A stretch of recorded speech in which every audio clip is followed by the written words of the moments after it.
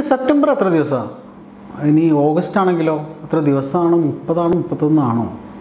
ഇനി ജനുവരി എത്ര? ഓ ആ കൺഫ്യൂഷനായി പക്ഷേ നമ്മൾ ഞാൻ സ്കൂളിൽ പഠിച്ചിട്ടുണ്ടായിരുന്നു. പക്ഷേ അതൊക്കെ മറന്നുപോയി. നമുക്ക് ഒന്ന് ഓർത്തെടുക്കാം. എങ്ങനെയാണെന്നുള്ളത്. സിമ്പിൾ ടെക്നിക്കാണ് ഒന്ന് കൈ ഒന്ന് ഇങ്ങനെ പിടിച്ചിക്കുക ഇവിടെ ഇത് ജനുവരിയാണ്.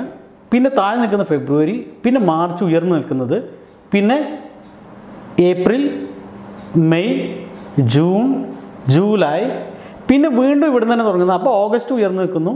September October November December. ഇത് പഠിച്ചു കഴിഞ്ഞാൽ നമുക്ക് ഇനി ഈസി ആയിട്ട് പറയാം. ഈ താഴ്ന്നു നിൽക്കുന്നതൊക്കെ മുപ്പതാണ്. ഉയർന്നു നിൽക്കുന്നതൊക്കെ മുപ്പത്തൊന്നാണ്. ഇതിലാകെ ചേഞ്ച് ഉള്ളത് ഇവിടെ ഫെബ്രുവരി മാത്രം. അത് ഇരുപത്തിയെട്ടാകാം. ചിലപ്പോൾ ഇരുപത്തി ഒമ്പതാകാം അപ്പോൾ നമുക്ക് പറയാം ജനുവരി മുപ്പത്തൊന്നാണ് ഫെബ്രുവരി ഇരുപത്തിയെട്ട് ഇരുപത്തൊമ്പത്.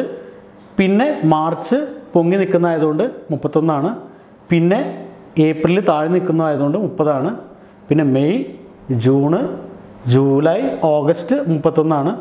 പിന്നെ സെപ്റ്റംബർ താഴെ നിൽക്കുന്നതായതുകൊണ്ട് മുപ്പതാണ്. ഇങ്ങനെ പഠിച്ചു കഴിഞ്ഞാൽ നമ്മുടെ ജീവിതത്തിൽ ഒരിക്കലും തന്നെ നമ്മൾ ഈ മാസങ്ങളുടെ ദിവസങ്ങൾ ഒരിക്കലും നമ്മൾ മറക്കില്ല പുതിയൊരു വീഡിയോയുമായി നമുക്ക് വീണ്ടും കാണാം. Have a nice day bye